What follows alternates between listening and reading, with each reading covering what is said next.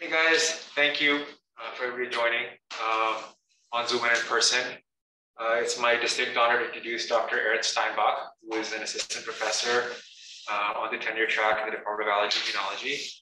Erin has been at UNC uh, for just about as long as I've been at UNC. Um, she is a graduate of the PSTP uh, training program and completed her residency and her internal medicine and fellowship here at UNC in allergy immunology. And then um, was also part of our T32 uh, basic science training program, during which uh, she was successful in obtaining uh, a center pilot feasibility study grant, as well as a PSTP uh, Fellows Award. She subsequently followed that up with uh, an award uh, by the PSTP program, which was a faculty, a junior faculty development grant. And she now currently has her K award being reviewed in the next couple of months. Um, Erin's focus has been on um, understanding the role of the gut barrier in, in food allergy, in particular peanut allergy. And uh, her paper just got accepted last week. So we're all excited about her. Thank you, Erin. Thanks. All right, I'm excited to talk here. Can people on Zoom see me if I stand up this side? They won't. Oh, they won't see me, period. Yes, we can see you. Little thing up. Okay. All right, so we'll just get started. Um, so thanks everyone for coming. It's a small group in person, but I always appreciate seeing faces in person. Um, so I'm going to talk about some of my more recent uh, research um, in revealing mechanisms of intestinal epithelial cell barrier dysfunction in peanut allergy. And I wanted to just say at the very beginning that uh, when I say peanut or food allergy, I am specifically talking about an IgE mediated allergy mechanism. Um, in the sense of a type 1 hypersensitivity reaction. So we know there are other types of allergic food allergies like eosinophilic esophagitis, which this group is very familiar with, um, that don't really fit into this category. And so um, this is a very specific type of food allergy that I'm talking about today. All right. So I wanted to start out by reviewing um, how peanut allergy or food allergy develops because it's a little bit different, although generally similar to uh, other inflammatory responses. Um, so the first time someone is exposed to allergen, the process of sensitization occurs. It's much like other immune responses where the antigen presenting cells take up the antigen, they process it, and then they present it via the MHC class 2 to T cells. And when the right T cell comes along, they recognize the antigen in the context of MHC, and they, uh, along with the help of local cytokines and other signals, will uh, start to differentiate into a mature Th2 type cell. So these cells start producing cytokines, uh, particular with a Th2 response, IL-4, IL-5, and IL-13, um, which then signal to B cells, which also recognize this allergen to produce peanut-specific IgE antibody. So to isotype switch to IgE, this antibody then circulates throughout the body and will then decorate mast cells in various tissues, um, in particular mucosal tissues, um, and sort of hang out there and wait for when it may recognize it, uh, this allergen. So then once this immune response de develops and the person is exposed to an allergen again, peanut allergens are absorbed into the system and gain access to the host immune response uh, immune system. And the peanut allergen then is recognized by the antibodies on the mast cells, which if there are enough of them and the interaction is strong enough, they will cross-link the receptors on the mast cell surface, leading to the degranulation of mast cells and release of a bunch of different mediators that cause this allergic immune response, both, both um, shown by local symptoms and systemic symptoms here. So you can see here that we know a lot of the nitty gritty about how the immune response develops in an allergy, um, but other components contributing to the allergic immune response are less well understood. I'll talk about later. Just a little background um, for general IgE food allergy. It's also often develops in the first two years of life. The prevalence um, is highest at uh, year one with an estimated six to 8% of children affected. Certain allergies are more likely to be outgrown like cow's milk and hen's egg allergy. Um, with, uh, for instance, for kids between ages 16, 14 and 16, nearly 70 to 80% of kids will outgrow these allergies by that age. So in the US, food allergy prevalence in children has been growing and it has in adults as well. Cow's milk is the number one food allergy in infants and young children. And there's some debate about whether being able to eat these foods baked um, in different contexts will have kids outgrow these allergies sooner in adults, the picture is a little different. Oral allergy syndrome is actually the most common adult food allergy um, with a prevalence around 10%. And uh, the most common perpetrator of allergic reactions in adults is seafood and peanut tree nuts. So to manage IgE-mediated food allergy, we have very few options at this point. Um, there's no cure for food allergy, but our main approach is to completely avoid exposure to the food, which can be tough. We do this by educating the patient um, to read food labels, to know sort of other words that mean that food. For instance, casein is another word for uh, protein in cow's milk that can cause a reaction. Um, to be able to identify things that may make their allergic reaction worse, um, like exercising really vigorously or drinking alcohol or being sick. Um, so we try to educate them as much as we can. Um, we also try to treat their other allergic diseases um, and kind of optimize management of those comorbidities. Um, we teach them about how to use their EpiPen if they have a reaction. Um, lately, we've learned a lot more about the psychosocial uh, effects of peanut allergy and food allergy. And so we screen for bullying and other mood disorders, which are highly prevalent in these patients. And then we do have some new therapies that have entered the market recently, um, which the idea is not a cure for these food allergies, but to create a little bit of a barrier for the threshold amount of food that is going to induce a reaction. So give, give the kids, give the patients a little cushion before they would have a reaction. So overall, this is not really great in how we manage food allergy. Um, and I think that's a big part of why it causes such um, such a big, has such a big effect on the quality of life in patients.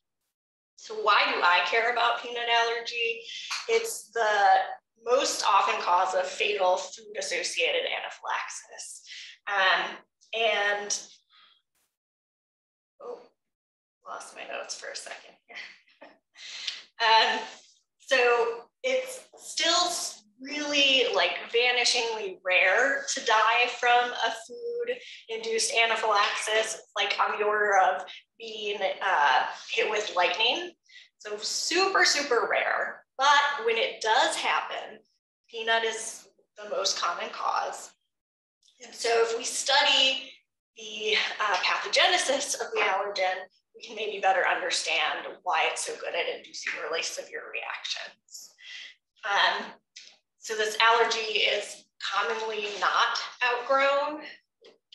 So typically lasts the whole life of the patient. So they're going to be dealing with this as a chronic disease, persistent to adulthood.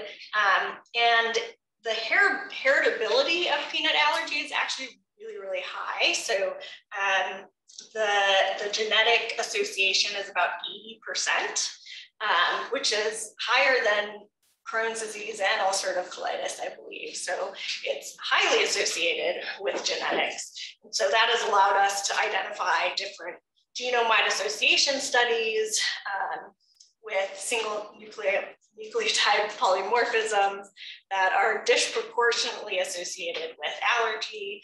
Um, we've also been able to identify certain gene mutations that are more prevalent in certain populations that are associated with, um, for instance, atopic dermatitis, and then a higher risk of developing food allergy. Have they looked at monozygotic twins? That's a good question. Um, I, I feel like they have, but I don't remember what they found because the, the genetic inheritance is so high yeah. anyway. It can be strong in like Crohn's disease too, but mm -hmm. zygotic twins are discordant.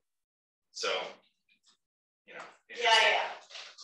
No, it's still, you know, incompletely understood definitely how genetics contributes to disease. Um, and then the last part is that a lot of studies are now trying to um, kind of categorize patients and characterize patients to try to get a more homogeneous population so that we can study something that's more likely to be a similar disease process or pathogenesis, and then understand that mechanism to pathogenesis better. Um, so we're, we're understanding kind of who may be at higher risk for having a severe reaction, who might react to lower doses of peanut, who might benefit from early introduction of peanut. And so that's those are all reasons why um, studying peanut allergy is, um, I think, a good route to go. Um, I'll briefly talk about um, mouse models in peanut allergy. So the main uh, point of these next two slides are that there are lots of different models of peanut allergy in mice. And there are tons of variations you can have with each of these models. So here you can have uh, exposure to peanut with or without adjuvant, which is uh, a component that will boost the allergic immune response to that, to that protein. Um, there are some genetically modified mice, for instance, the IL-4 receptor F709 mouse that uh, produces more IL-4 um, or has a mutation in the IL-4 receptor where it's active. And so it has more signaling through the IL-4 receptor, and that is associated with uh, food allergy. Um, so there are lots of different models to start out with. And then when we're actually looking at the mode of developing peanut allergy, you have these different parts of peanut allergy. So you have sensitization, uh, the oral challenge where they have an allergic reaction and how you measure that, which can all be different as well. So the route of sensitization, how frequent they're sensitized, um, how long the sensitization period can all be different. And then the route of challenge, how often they're challenged and what their readout is. And then there's lots of routes that we can expose mice to allergen. So in the skin, through the nose, so kind of through the nasopharynx and lungs, um, in the GI tract, and just by um, giving it intraperitoneal or even intravenous. So makes it very difficult to kind of compare across studies and identify common problems or common uh, pathogenic mechanisms of food allergy. So I was really excited when the CC27 mouse model of peanut allergy was identified. So Dr. Burke's group um, used the collaborative cross, which is this um, it's a, a global effort to provide inbred mouse strains with precise genetic variation, all stemming from an original eight founder mice. So, um, and by, they're made by differential breeding. So you have all these different populations of inbred mice. So they're reproducible and you can buy them and breed them and they're, they maintain their genetic heterogeneity. Um, And the diversity across all of these populations more closely resembles the diversity of the human of humans. And so we can start to try to understand mechanisms of continuous traits or of complex genetic diseases. So uh, Dr. Burks took a subset of these mice and screened them for susceptibility to peanut allergy. The mice were exposed to peanut extract, um, which I'll just call peanut from here on out, um, with adjuvant orally once a week for four weeks. And then in the fifth week, they were challenged orally or intraperitoneally, kind of as a control, um, to peanut. And as a measure of systemic reaction during challenge, we measure rectal temperature immediately after the challenge with peanut and follow that over time. So through this screen, we were able to identify the CC27 mouse as reliably demonstrating these dramatic decreases in rectal temperature during oral challenge with peanut. So the next step of this process was to take the susceptible CC27 mouse and breed it with a non-susceptible or resistant mouse strain. Um, and the F2 progeny were then genotyped and phenotyped to identify regions of the genome that were associated with the peanut allergy phenotype. So from this, we were able to identify uh, about six to eight different very large sections of the genome that were associated with um, the of the CC27 genome that were associated with susceptibility to peanut allergy. And this um, analysis, more fine mapping, is really complicated and it's still ongoing, um, but I won't delve into that more. Um, so uh, Dr. Burke's group showed that they're susceptible to peanut allergy by the oral route. Um, and we had a couple other interesting observations. So we were able to measure a component, a major um, uh, allergen of peanut, ARA-H2, in the serum of mice after they were challenged with peanut. We found that CC27 had much higher levels of serum ARA-H2 compared to the other strains of mice that were, were resistant to uh, allergy. And the serum ARA-H2 correlated really nicely with the degree of severity of reaction, which is shown by the maximum body temperature decrease here. So this suggests that the degree or the amount of intestinal allergen that crosses the intestinal epithelial cell barrier and circulates systemically may be how um, or may determine how severe a reaction is. And so intestinal permeability um, is something that I have been really interested in and how it relates to, to disease and specifically peanut allergy. So um, there was a study a while ago, 2006, a small group of peanut allergic patients um, had their intestinal permeability measured um, using the lactulose mannitol assay, um, which diffuse across the intestinal barrier differently. And if you take the ratio of these metabolites in the urine, you get a sense of how permeable their intestinal barrier is, kind of on a larger scale. So a higher ratio means they have um, higher amounts of intestinal permeability. When they took these patients, would that in, would that suggest that they have like an injured or inflamed intestine, or just at natural homeostasis levels? So it's usually associated with some sort of perturbation, whatever it may be. Um, so it could be like homeostasis for these people, but it's really hard. So they had increased permeability compared to normal control patients. So kind of this is baseline without eating peanut or other food allergens. Um, I don't know if there's like a normal level because this is only used in research.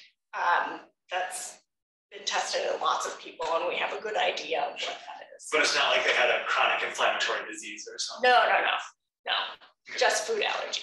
Okay, Yeah, sure. yeah.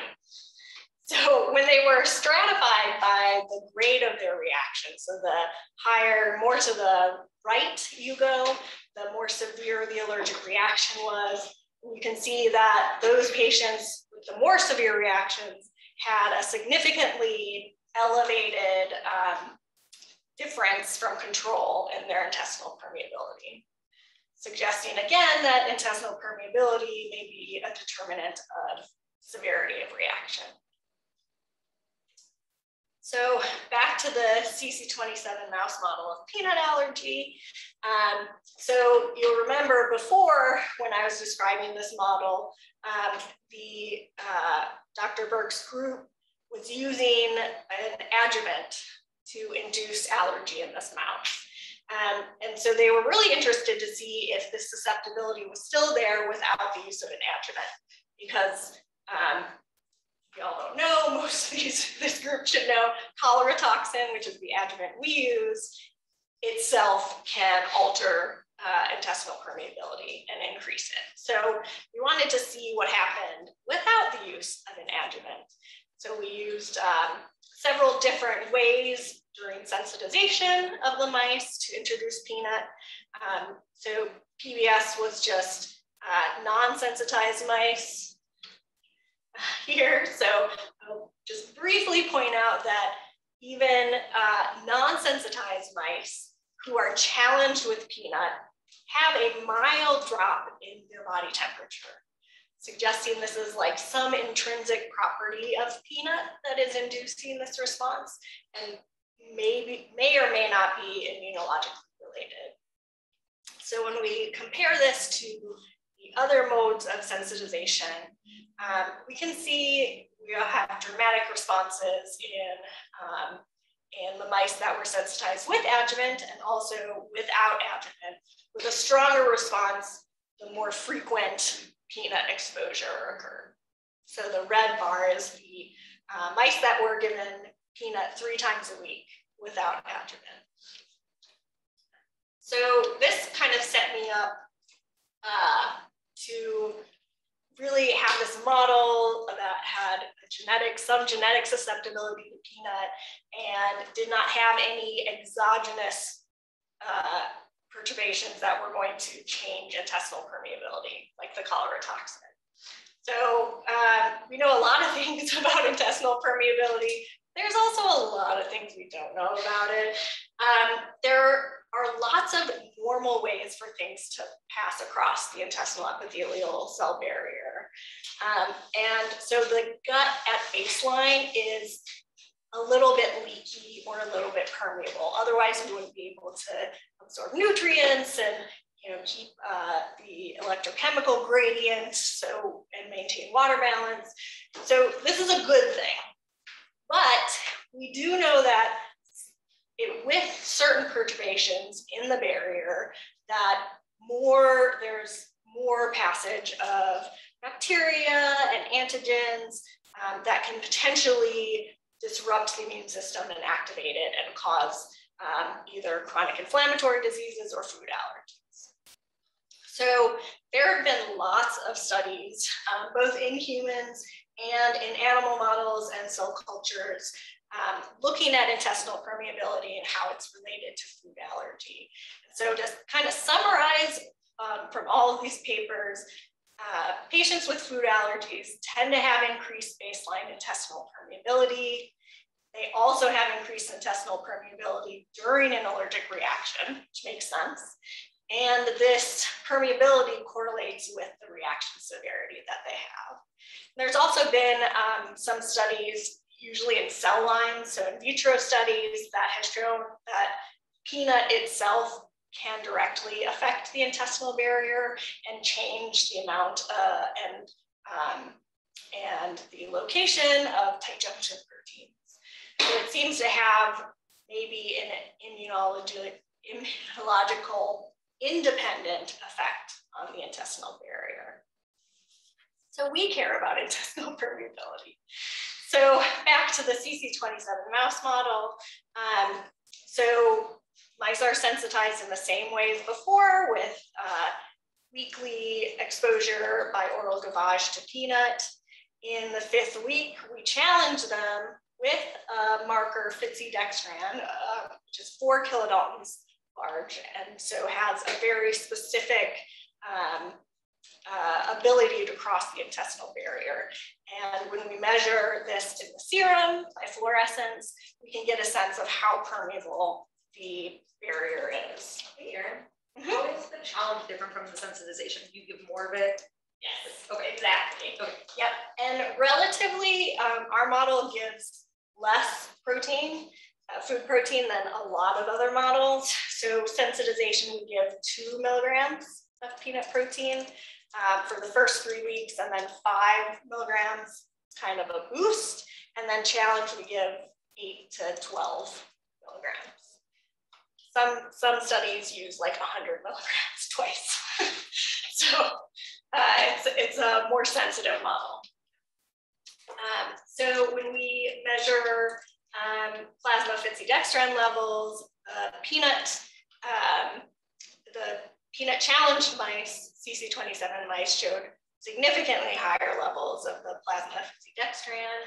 Um, and this correlated well with their change in rectal temperature as a measure of severity. So this is going along with what we see in humans.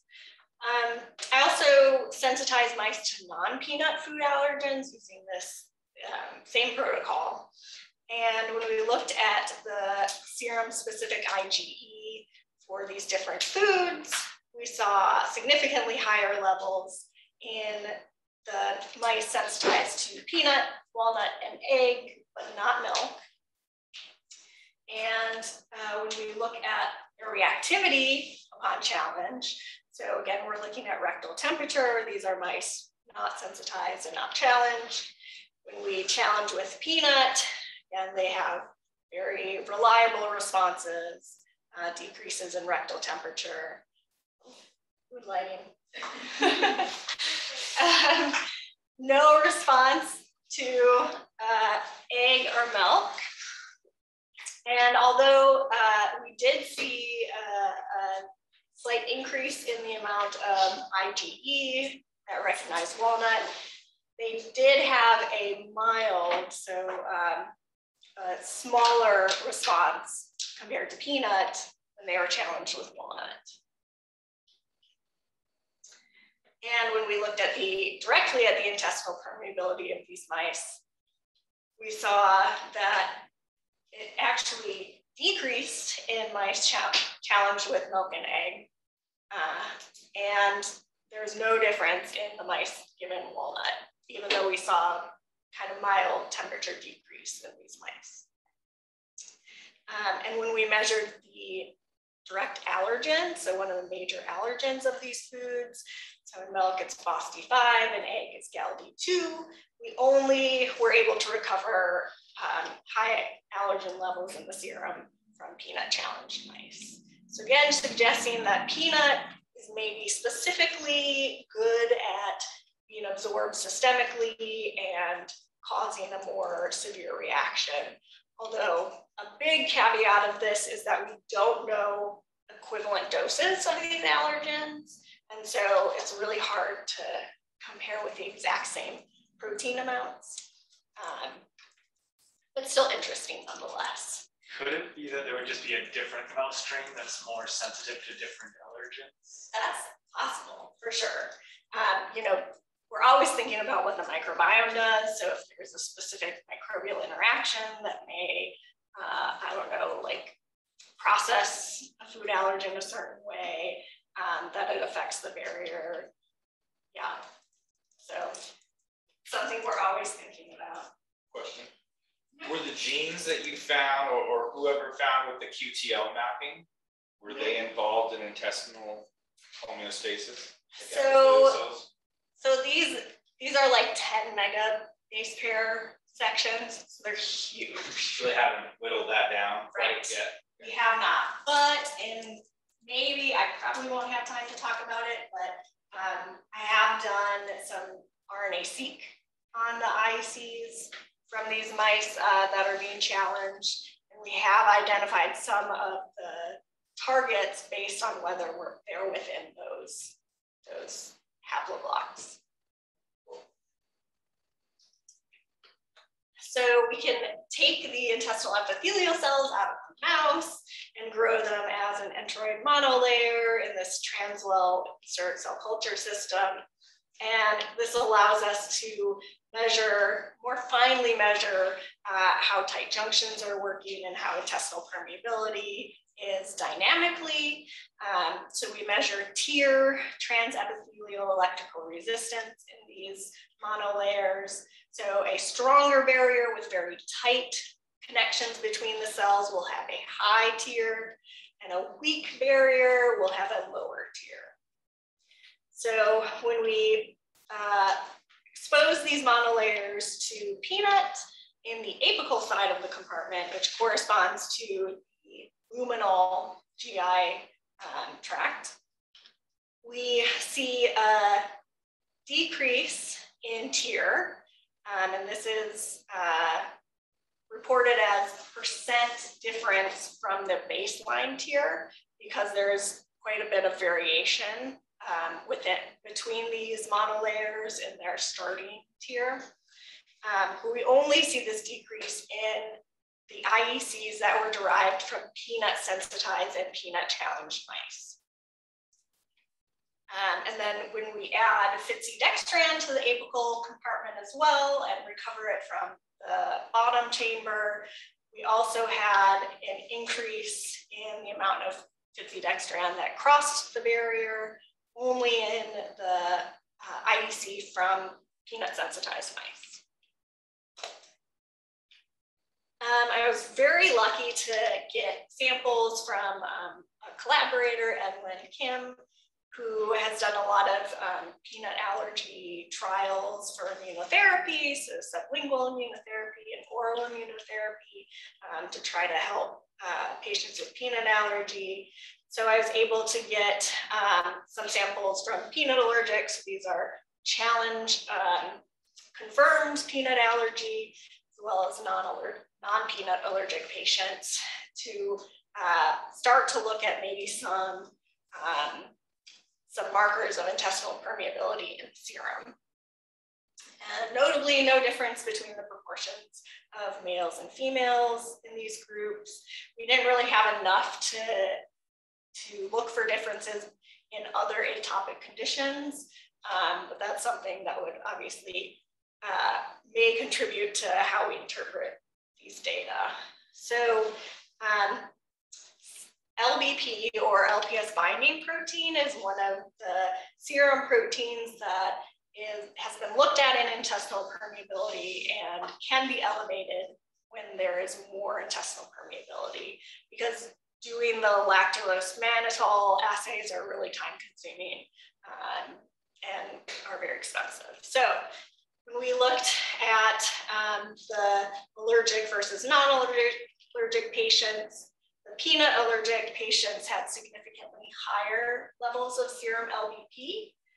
And then when we looked only in the peanut allergic subjects and we stratified them by how much they were able to tolerate in their initial challenge with peanut, we saw that the patients that were able to tolerate either no or a very small amount of peanut protein had higher levels of serum LBP compared to the patients that could tolerate more.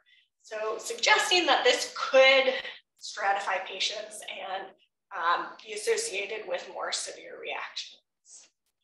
Um, also, this dose um, correlated very well with the serum LBP. So this first part, to summarize, we identified the CC27 mouse. It's a great model for studying the effect of peanut on the gut. Um, these mice have increased IEC barrier permeability during peanut challenge, and this also persists in IEC cultures ex vivo.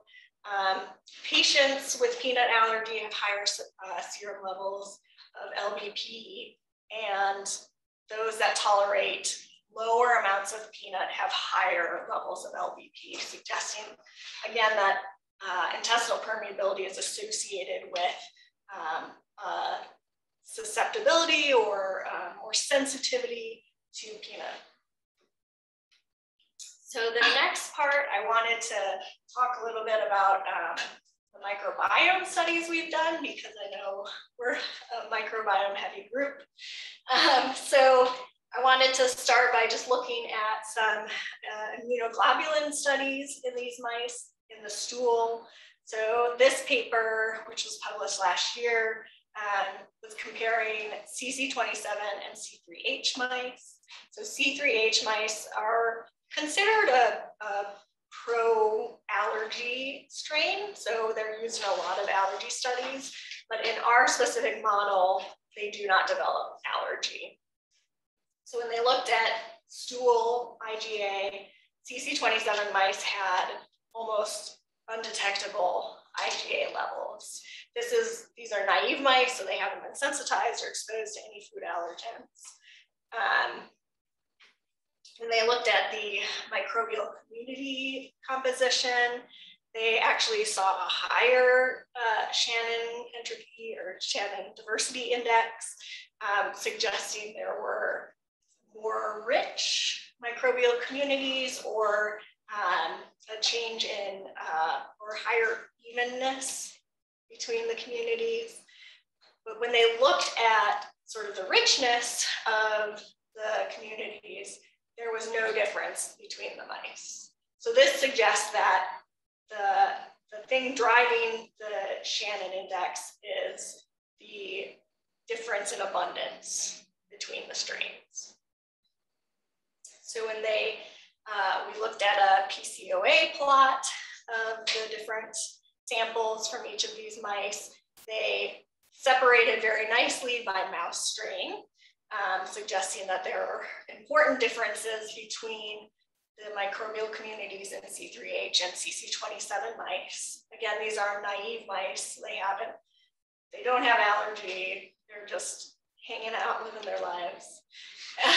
if we look at the some of the um, bacterial orders that are different, that have different abundance in each of these mice, um, we see some big differences, particularly in the Anaeroplasmatales and Lactobacillus orders. Um, so a really talented undergraduate, uh, or sorry, used to be a graduate student, now has graduated and moved on. Um, Andrew Hinton used machine learning to try to identify some of the signature features of these communities that would define the CC27 versus the C3H communities. And he was able to identify uh, 44 different features in these mice. Um, one of the uh, differences in how he did his analysis is that he used ratios, log ratios for each of these microbial communities. So he used computational analysis to identify one kind of standardizing community within the bunch. And then he took the ratio of all the other taxa to that one community. So the idea is um, because when you do the microbiome analysis, you're always looking at relative amounts. So this way, by transforming the data, you can start to uh, compare these a little bit easier between, um, between samples. So when we take these same log uh, ratios and put them in a heat map, it's a little easier to visualize the differences between each of these samples um, by strain.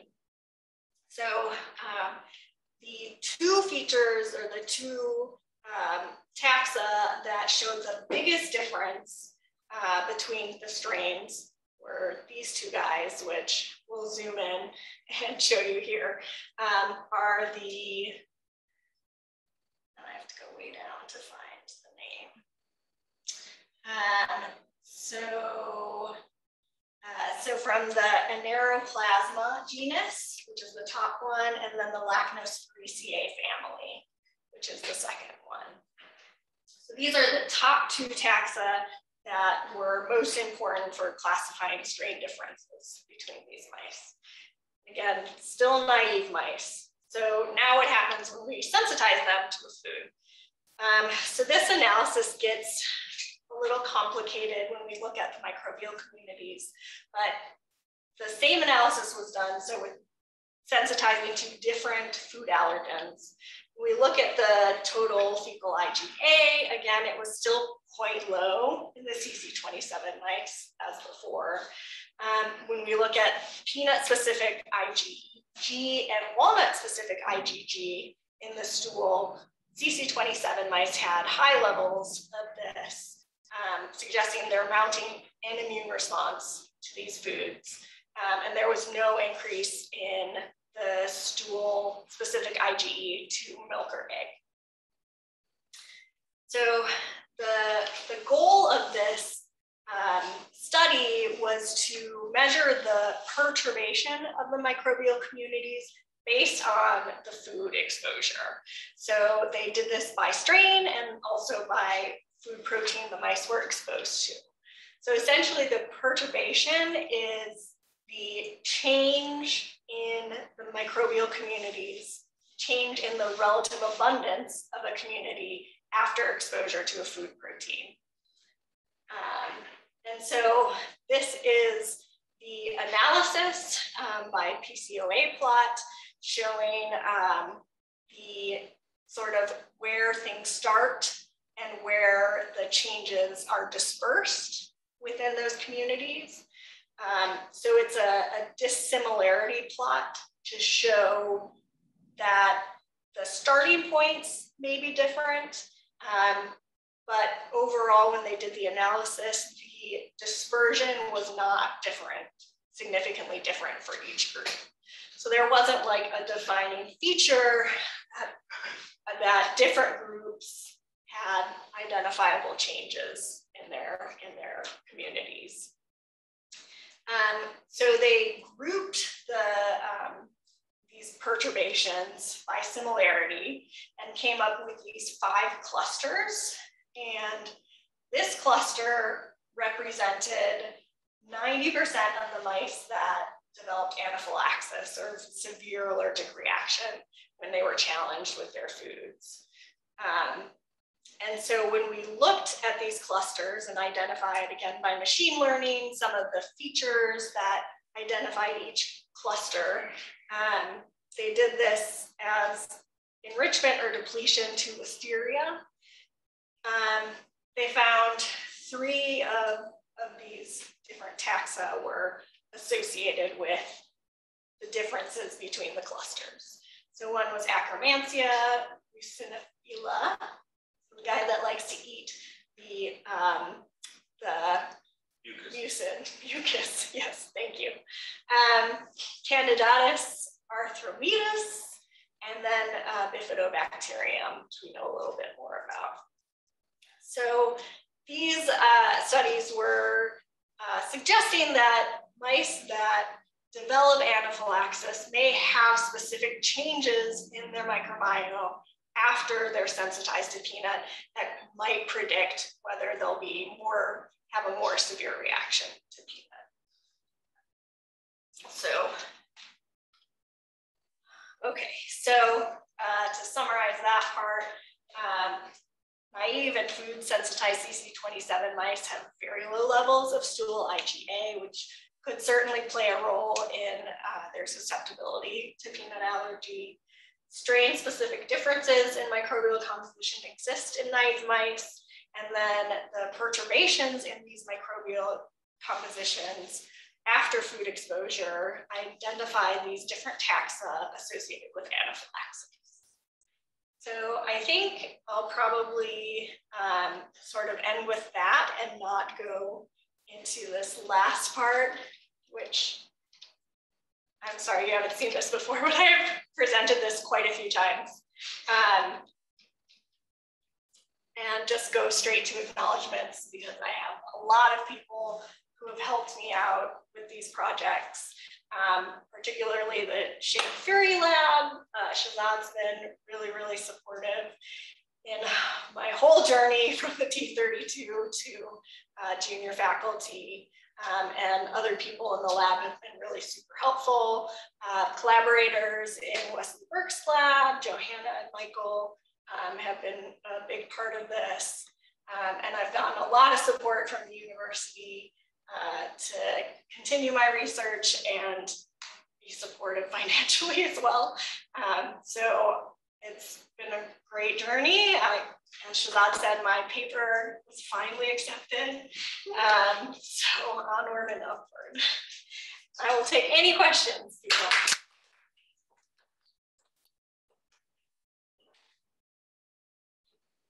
Um, I was wondering if in the microbiome piece that you just presented, um, if it has been done or maybe even tossed around idea to co-house the non-susceptible mice with the CC27 mice and get the microbial communities kind of the same and then sensitize and challenge and look to see if there's any differences or if you can rescue the, the effect.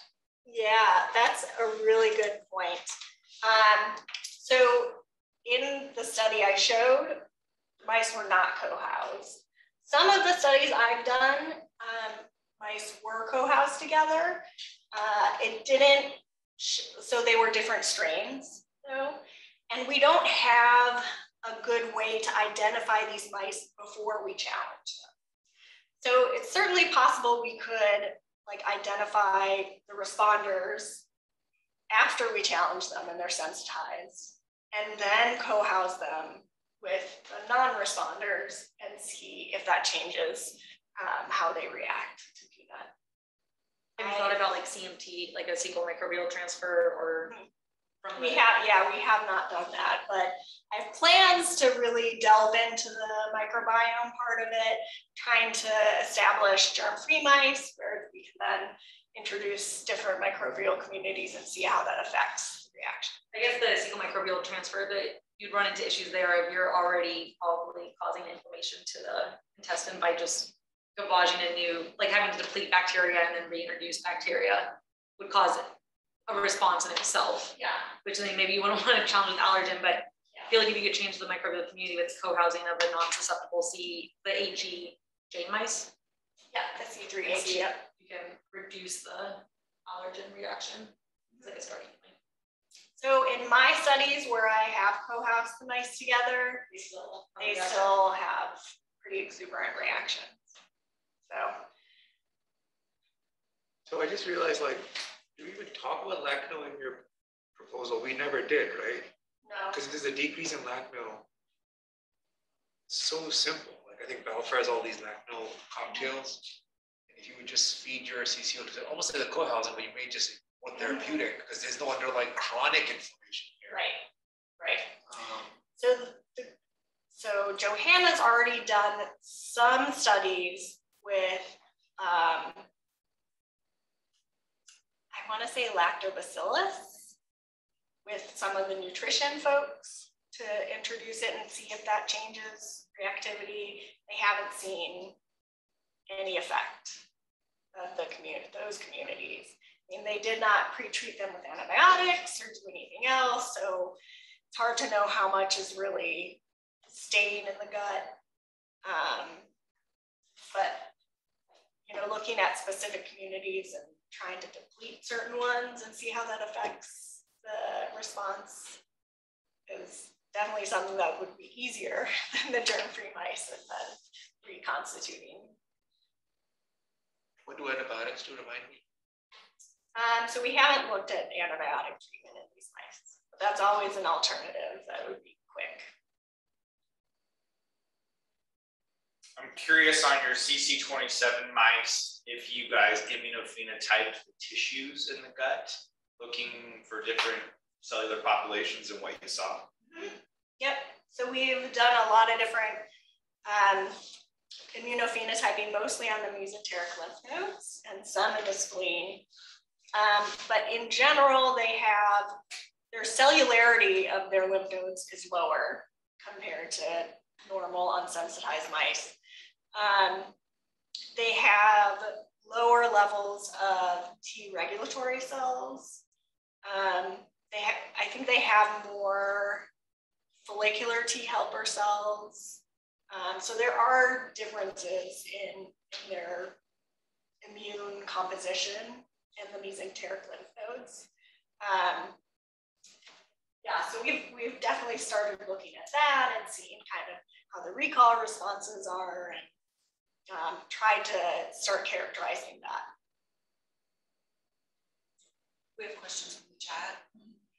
Um, John Hanson asked, does the affected peanut protein on transvaal IEC permeability vary if the protein is placed apic, apically or basolaterally? Laterally? Yeah, I definitely want to do that. Um, that is something I haven't done yet and really interested in looking at that because there could be a differential response um, and that could lead us down different pathways and exploring the mechanism. Um, so something I definitely want to do. There's a note. Okay, should I unmute here? Will that? Don't They can hear. They can hear Okay. with the, with the microphones in the scene? So. Johanna's asking, um, or she's making a comment that they tried acromantia and lactose parisia after antibiotic, t- after antibiotic treatment, but it seemed to make things worse.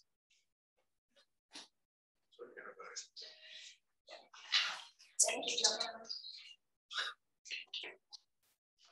In the epithelial model, do you have like an expected type of mechanism you're looking for? Like you can just do like RNA-seq and see if there's receptors that are present or absent, like. So um, I've thought about kind of the protease activated receptors because some of the proteins um, in peanut are expected to have protease activity. Um, so thinking about the PARs, I don't, uh, I don't think there was a change. So when we looked um, in RNA-seq and the IECs from unsensitized versus sensitized mice, at baseline, there was like 13 differentially expressed genes, so very low, very little difference. Uh, and so we suspect that you need to have some, some uh, stimulation or something to perturb that system to really identify and unmask those differences. Um, but I don't remember seeing those receptors that were changed after challenge with peanut. Um, yeah. Interesting.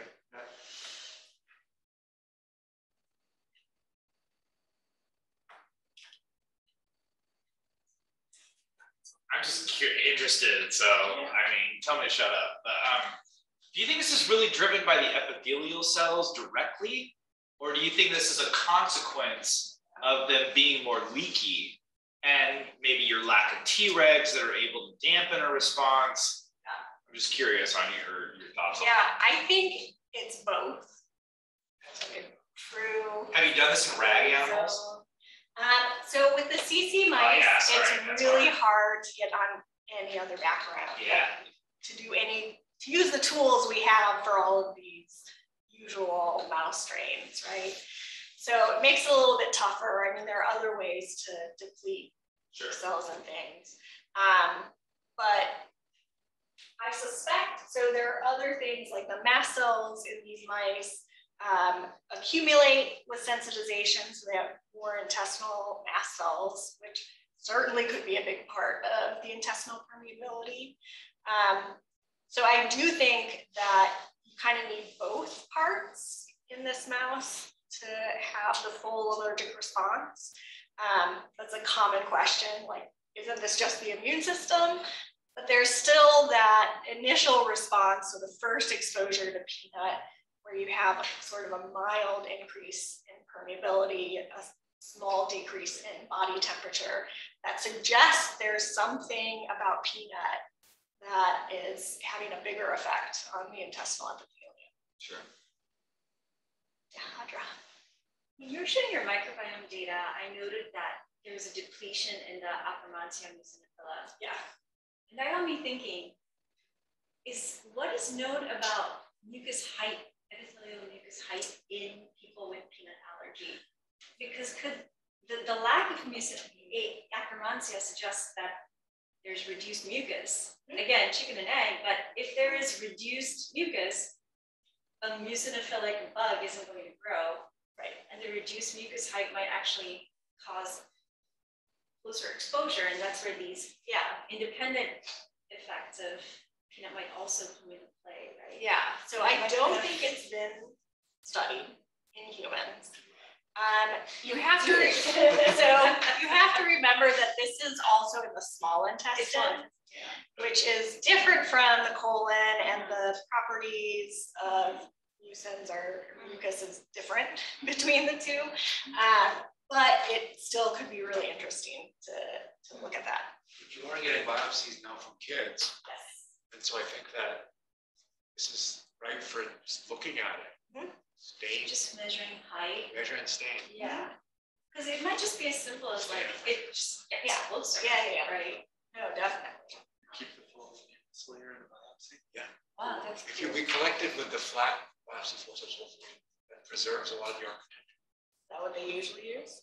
The jaw too crushes the biopsies, especially for the research. Cool. All right. neat. Let's do it. Let's Measure some mucus. Good idea, thank you. Yeah, thanks. Do people who have peanut allergy, are they also differentially susceptible to enteric pathogens that you know of? Uh, not that I know of. Um, Or like colonizing Yeah. type E. coli, enteric type. I don't think, thank you. I don't think anyone's looked at that or found that in microbiome studies. Usually they're looking at stools, so you're not gonna necessarily see mucosal adherent. Um, but that's something that we've done before on, on tissue biopsies. Um, it could be something we look at. There's also kind of a uh, inverse correlation between um, like countries that would have more enteric pathogens I- and peanut allergy, right? That's was exactly what I was Yeah. thinking, that they are opposite, so maybe. At least that's a relationship, happen. yeah, those was Absolutely. So it's kind of, I sort of think of it as like the bored immune system, like if it's Mm. not actively fighting infections so often, it kind of becomes bored and starts targeting other, yeah. right, other things potentially. Um, so one of my colleagues, Oni Awala, is very interested in how parasitic infections um, affect allergies downstream and responses to vaccines and things. So she would be someone to talk about if you're interested in that. Thanks.